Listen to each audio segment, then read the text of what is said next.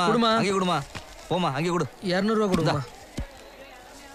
டே தலையாட்டி வியாபாரம் நல்லபடியா நடக்குது. மனசுக்கு சந்தோஷமா இருக்கு. பொழைச்சுக்கோல்ல ஆமா மாப்பிள்ள. ஆ, வியாபாரத்தை ஒழுங்கா பாரு சிரிச்சிட்டு இருக்கிற கொய்யாலு இந்த கான்செப்டே புரியல கூட தெரியலையா? இங்க இருந்து படி.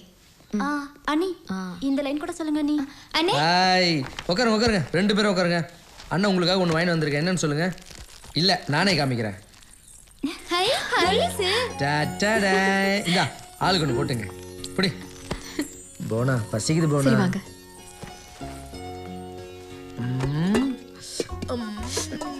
பாருங்க திடீர்னு தங்கச்சி இங்க வந்துட்டு போறாங்க. அதெல்லாம் வரமாட்டாங்க. குரு சத்தம் கேக்குது. ஐயோ. போனா பசிக்குது போனா சீக்கிரம் சாப்பாடு போட்டு போனா. ஐயோ சூப்பரா இருக்கு. இல்ல நல்லா இருக்குல்ல நல்லா இருக்கு. சரி அம்மா கிட்ட போய் காமிங்க போங்க. அப்பா.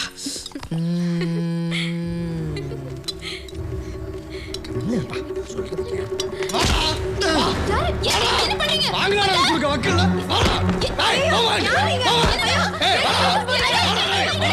வாடா ஓடி ஒழுங்கா விட்டுவோமா பாத்தியாரு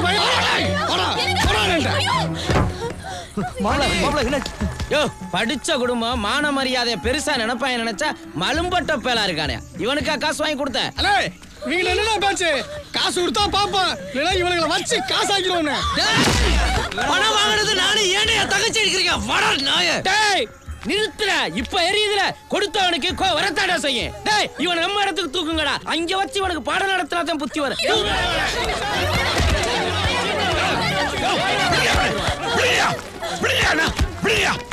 எனக்குயா என்ன பண்ணு தூக்குறீங்க என் பையனை? வாங்கின கடனை கொடுக்கறேன்னா தூக்கம் என்ன செய்வாங்க?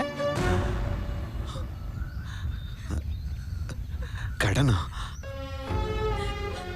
ஐயா அவன் என்ன வாங்கினானோ நான் கொடுத்துட்றேன் கொடுக்கலைனா? ஐயா நம்புங்க ஐயா பத்து நாள்ல கொடுத்துட்றேன். அவனும் பத்து நாள்ல வருவேன்.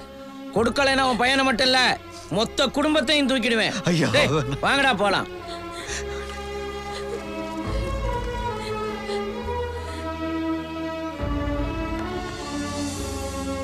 என்னங்க? இன்னும் பத்து நாள்ல எப்படிங்க பணத்தை திருப்பி கொடுக்க போறோம்? சிவகாமி கடைசி காலத்துல குடிசையாவது போட்டு தங்கலான்னு சொல்லுவி. அந்த இடத்த வித்துல. இதை நீங்க என்கிட்ட கேட்கணுமா எவனோ ஒரு எடுபட்ட பையன் நம்ம புள்ள சட்டையை பிடிச்சி தர தர இழுத்துட்டு போறான். அதை பார்த்துட்டும் இந்த இடம் நமக்கு வேணுமா? வித்துருங்க. சிவகாமி வேற வழி தெரியும்